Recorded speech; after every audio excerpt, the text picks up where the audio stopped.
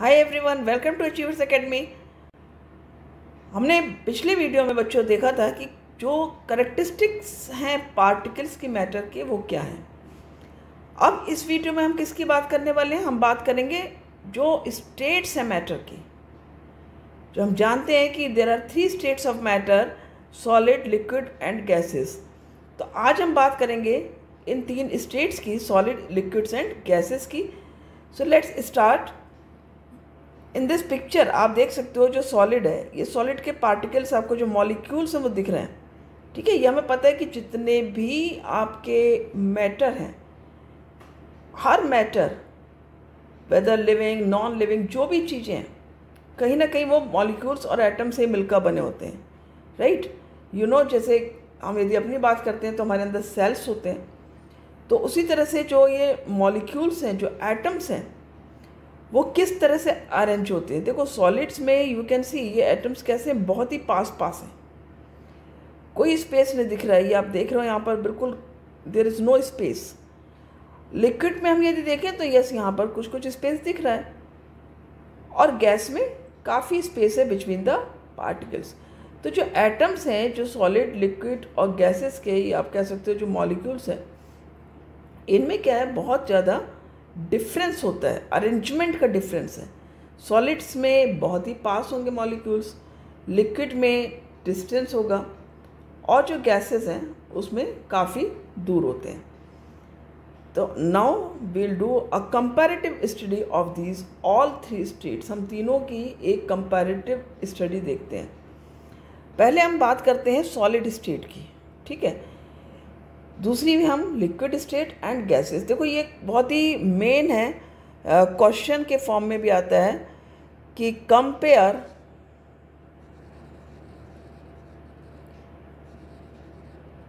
the three states of matter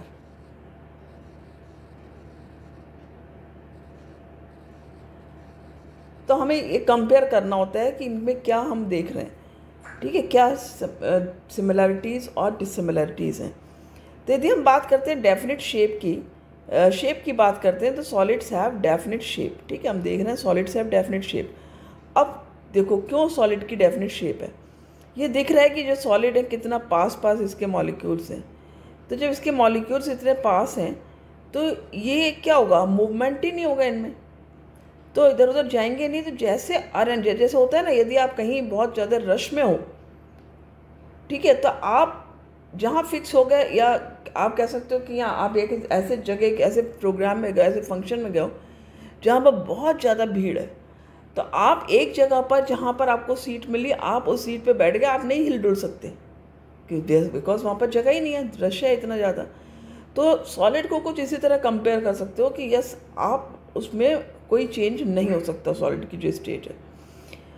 ठीक, अब हम यदि हम लिक्विड में देखें तो liquid have no definite shape liquids में डेफिनेट शेप नहीं है। लिक्विड्स की डेफिनेट शेप क्यों नहीं है? क्योंकि लिक्विड्स में क्या है? स्पेस है बिटवीन द पार्टिकल्स अब जब स्पेस है तो ठीक है, यदि हम इसको लिक्विड को सपोज़ किसी और उसमें करेंगे ट्रांसफ़र तो क्या होगा? थोड़ा बहुत तो मूवमेंट होगा इन पार्टिकल का, इनके पास जगह है ये मूवमेंट के लिए. यू कैन सी दिस तो उतने मूवमेंट से क्या होगा? ये शेप चेंज कर लेते हैं तो they don't have a definite shape in the same way gases also हैव not any डेफिनेट शेप जैसे लिक्विड है, आपने क्या किया? आपने एक बॉटल में वाटर रखा है। अब आपने उसी वाटर को आपने गिलास में डाल दिया। अभी तक वाटर की जो शेप थी, वो बॉटल की थी। अब जो वाटर की शेप है, वो किसकी हो गई? गिलास की हो गई। इन द सेम वे जो गैसेस होते हैं, आपने एक सिलेंडर में डाला तो गैस ने उसी सिलेंडर की शेप ले ली। आपने उसको दूसरे किसी उसमें डाला कंटेनर में तो गैस उसकी शेप लेगा। लेकिन क्या आप सॉलिड को ऐसा कर सकते हो? नहीं। आपकी टेबल है। क्या आप टेबल की शेप चेंज कर सकते हो? Can you imagine even table तो बड़ी चीज़ है। आपके हाथ में इरेज़र होगा। क्या आप इरेज़र की शेप चेंज कर सकते हो? आपने पेंसिल और पेन की शेप चेंज कर सकते हो? नहीं। Because these all are solids तो solids have a definite shape where as liquids and gases don't have the definite shape they can change the shape और they take the shape of the container उस container की shape ले लेते हैं जिसमें इसको हम पोर करते हैं, जिसमें हम डालते हैं। सेकेंड पॉइंट है आपका वॉल्यूम रिलेटेड ठीक है? सेकेंड पॉइंट इज़ वॉल्यूम अब यदि हम वॉल्यूम की बात करते हैं, देखो वॉल्यूम क्या होता है? वॉल्यूम होता है कि कितना स्पेस ऑक्यूपाई कर रहा है। अब यदि आपने अपनी एक पेंसिल ली उसको रखा है तो वो उतना स्पेस ऑक्यूपाई करेगी जितनी उसकी उसका वॉल्यूम है, उससे कम नहीं करेगी राइट आप उसको कोई फोल्ड नहीं कर सकते, आप उसको कम स्पेस नहीं ऑक्यूपाई कर जा सकते। इन द सेम वे आप कोई भी सॉलिड ले लो, आप बोर्ड ले लो डस्टर ले लो, या कोई भी आनी सॉलिड किसी की भी शेप चेंज नहीं हो सकती। अब यदि आप बात कर वॉल्यूम चेंज नहीं होगा इन द सेम वे यदि हम लिक्विड की बात करें तो लिक्विड में भी एक खासियत होती है। शेप तो चेंज होगी, लेकिन वॉल्यूम चेंज नहीं होगा। क्यों नहीं होगा चेंज वॉल्यूम अब यदि आपने सपोज़ 200 मिलीलीटर आपके पास मिल्क है, और वो एक आपने गिलास में रखा, या फिर आपने उसको एक कप में रखा, या फिर आपने उसको एक बॉटल में रखा, ठीक है? गिलास हो सकता है आपका फुल हो जाए कप हो सकता है, आपका फुल हो जाए। लेकिन बॉटल में बड़ी बॉटल है तो ऑब्वियसली उतनी जगह बची रहेगी। क्योंकि 200 मिलीलीटर मिल्क उतनी ही स्पेस घेरेगा जितना इसका वॉल्यूम होगा। तो ये आपका जो लिक्विड है, उसका वॉल्यूम जो है वो फिक्स होता है। They have the fixed volume right अब हम गैस की बात यदि करेंगे gas is different in this gas में वॉल्यूम भी चेंज हो जाता है। There is no definite volume in case of the gases gases का वॉल्यूम डेफिनेट नहीं होता है। अब कैसे नहीं होता है? देखो गैसेस में क्या है? ये आप देख रहे हो इसके जो पार्टिकल्स हैं गैसेस के जो मॉलिक्यूल्स हैं, वो इतना दूर दूर इतना फार हैं कि आपने यदि उसको कंप्रेस कर दिया, आपने किसी छोटे कंटेनर में कर दिया जिसका साइज़ कम है तो ये कंप्रेस होकर उसमें आ जाएँगे। वॉल्यूम चेंज हो गया। यहाँ पर वॉल्यूम फिक्स नहीं है। तो हमने क्या देखा? Solids have fix volume liquids also have fix volume but gases they do not have fix volume फिर हम बात करते हैं डेंसिटी की। डेंसिटी क्या होता है? मास पर वॉल्यूम होता है। ठीक है, अब यदि हम सॉलिड्स की बात करते हैं तो सॉलिड्स की डेंसिटी बहुत हैवी हाई होती है। क्यों हाई होती है? क्योंकि ये हैवी होते हैं। सॉलिड्स हैवी होते हैं, इनकी डेंसिटी हाई होती है। अब हम लिक्विड की यदि बात करें तो लिक्विड की डेंसिटी माइल्ड टू हाई होते हैं। मतलब ये सॉलिड से कम होगी, लेकिन गैसेस से इनकी डेंसिटी ज़्यादा होगी। जब हम कंपेयर करेंगे डेंसिटी को तो सॉलिड्स की डेंसिटी सबसे ज़्यादा होगी, क्योंकि सॉलिड्स का मास भी ज़्यादा होगा, राइट?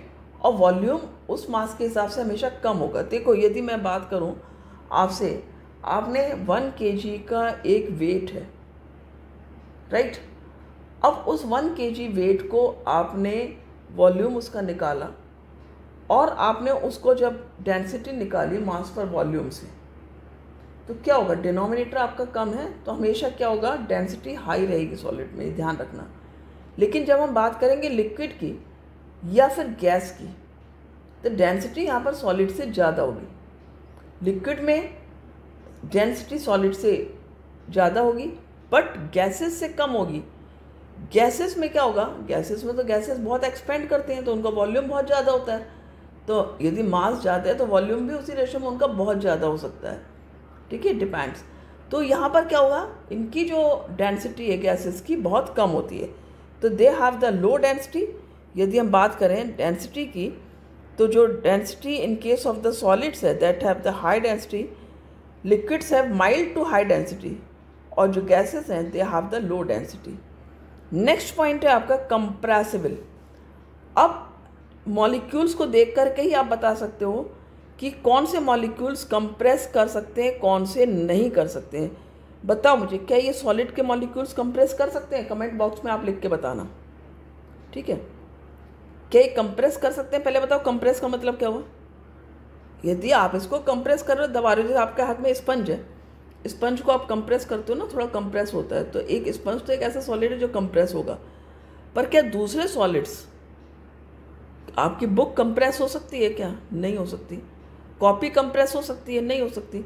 तो सॉलिड्स कंप्रेस नहीं हो सकते। हैं लेकिन हम यदि लिक्विड की बात करें, देखो यहाँ पर अब ऑब्वियस क्यों क्यों नहीं कंप्रेस हो सकते? इसका कारण आपने देख ही लिया कि मॉलिक्यूल्स में जगह ही नहीं है ना बिल्कुल बीच में। जब स्पेस ही नहीं है तो कंप्रेस कैसे होंगे? But in case of liquids क्या होगा? ये बहुत हल्का सा कंप्रेस हो सकते हैं। ये भी कंप्रेस हो नहीं पाते स्लाइटली कंप्रेस हो सकते हैं। लेकिन गैसेस कंप्रेस हो सकती हैं। देखो तो लिक्विड कैसे कंप्रेस नहीं हो सकते? क्या आप ऐसा कर सकते हो कि आपके पास टू हंड्रेड मिलीलीटर जो आपका टू हंड्रेड एम का आपका जो मिल्क है, आप उसको छोटे कप में कर सकते हो हंड्रेड एम में नहीं कर सकते ना। इसका, इससे क्या शो रहा है? कि लिक्विड कंप्रेस नहीं हो सकता है। लेकिन आप 200 हंड्रेड गैस को जिस कंटेनर में वो है, उससे छोटे कंटेनर में ट्रांसफ़र कर सकते हो। ये क्या शो कर रहा है कि यस गैसेस कंप्रेस हो होती हैं। तो ये अंतर है आपका कंप्रेसिबिलिटी में in case of the solid liquid and gases तो आप क्या लिखोगे? In case of solids they are least compressible जो आपके लिक्विड्स हैं दे आर स्लाइटली कंप्रेसिबल और जो गैसेस हैं दीज आर हाईली कंप्रेसिबल अब हम काइनेटिक एनर्जी की बात करते हैं. काइनेटिक एनर्जी क्या होती है? पढ़ा है आपने? काइनेटिक एनर्जी अभी आप फिजिक्स में ही पढ़ोगे kinetic energy kinetic energy is the energy in motion जब कोई चीज़ मोशन करती है और तो जो एनर्जी होती है, वो काइनेटिक एनर्जी होती है. अब ये बताओ मुझे, क्या ये सॉलिड में मॉलिक्यूल्स जो है मोशन कर सकते हैं क्या? क्या ये घूम रहे हैं? ऊपर नीचे जा सकते हैं? नहीं, ये थोड़ा बहुत वाइब्रेट तो कर सकते हैं, लेकिन ये मूव नहीं कर सकते। तो अगेन जो काइनेटिक एनर्जी है, वो क्या है? लीस्ट हो गई सॉलिड में। लिक्विड में थोड़ा स्पेस है तो it is more in liquid than in solid and gases में रैंडम मूवमेंट चलता है। वॉल्स पे जो कंटेनर है ना, उसके वॉल स्पेस के जो मॉलिक्यूल्स हैं, वो टकराते रहते हैं। ठीक है ना? They exact force on the walls also ठीक? तो ये आपका हो गया, आपका about the kinetic energy kinetic energy is least in case of the solids it is more then solid in case of liquid and the gases state have the maximum kinetic energies. अब है fluidity इसको हम fluidity भी कहते हैं। Fluidity क्या है? Fluidity means कोई चीज़ का बहाव होना। मुझे बताओ, क्या सॉलिड में फ्लूडिटी हो सकती है? क्या सॉलिड्स फ्लो कर सकते हैं? नहीं कर सकते। पर लिक्विड में तो होती है। लिक्विड कैन फ्लो आपका मिल्क था ग्लास में और वो बाई चांस आपसे हिल गया। और मिल्क गिर गया। फ्लो करके वो गिरेगा, फर्श पर आएगा। लेकिन एक लिमिट तक जाएगा। ऐसा नहीं कि पूरे घर में आपके फैल जाएगा या पूरे रूम में दूर तक चला जाएगा, उसकी एक लिमिट होगी, वहाँ तक वो जाएगा। बट जब हम गैस की बात करते हैं ना तो गैसेस पूरे में फैल सकती हैं, ठीक है? तो फ्लूडिटी में भी क्या है? Solids can not flow liquids flows from the higher to lower level and एक और चीज़ भी है कि फ्लोज इन ऑल डायरेक्शन अब जो लिक्विड की बात करें तो आपका यदि सपोज़ ग्लास से दूध गिरा है टेबल से तो किसी एक डायरेक्शन में फैल जाएगा। ऐसा तो नहीं चारों फैल जाएगा।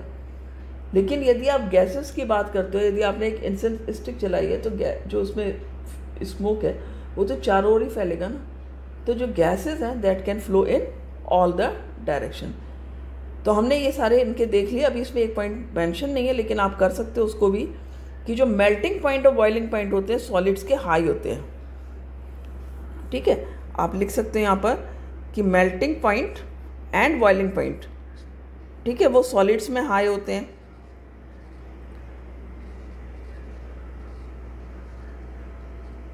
इसमें क्या होता है? इसमें मिड टू हाई कर लो। भाई सॉलिड से ज़्यादा होते हैं, लेकिन गैसेस से कम होते हैं। और गैसेस के